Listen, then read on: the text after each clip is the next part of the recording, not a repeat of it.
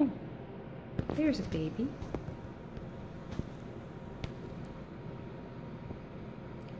Babies have been moved to a five gallon temporarily until they're grown.